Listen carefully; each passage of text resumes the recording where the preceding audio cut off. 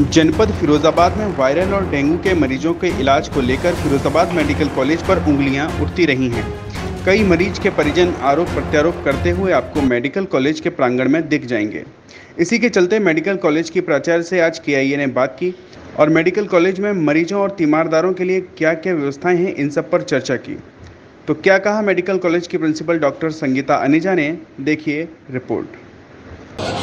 देखिए, मरीज़ ज़रूर बढ़ रहे हैं या उतने ही हैं, लगभग आप कह लें।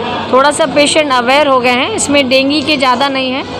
जैसे आज हमारे यहाँ चार सौ उनतीस मरीज़ हैं तो करीबन 90 पेशेंट डेंगी के हैं। लेकिन ये है कि पेशेंट में डायरिया डिसेंट्री या वॉमिटिंग भी चल रहा है तो पेशेंट को विश्वास हो गया है अस्पताल में तो वो तुरंत आ रहे हैं दिखाने के लिए। थोड़ी घबराहट भी है उनको कि डेंगी ना हो तो इसलिए पेशेंट काफ़ी अमाउंट में हमारे पास आ रहे हैं।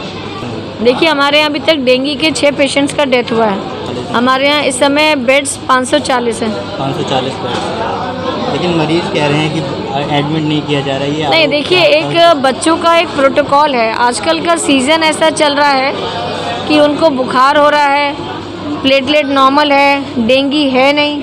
तो वो भी चाह रहे हैं कि हम एडमिट हो जाएँ तो पीडियाट्रिक्स का बच्चों का एक प्रोटोकॉल होता है। किसमें आपको एडमिट करना है किसमें आपको एडमिट नहीं करना है।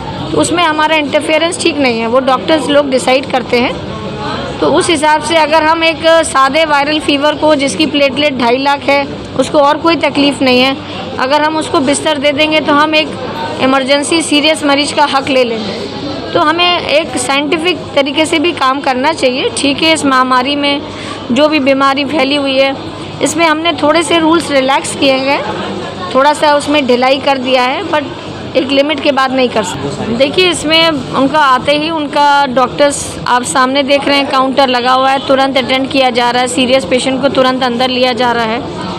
उनका जाँच हो रहा है लैब भी हमारे यहाँ बनी हुई है।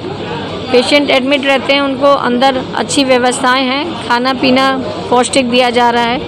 अंडा, दूध से लेकर पनीर फ्रूट्स सब दिया जा रहा है। मरीज़ और उसके एक तीमारदार का खाना फ्री है।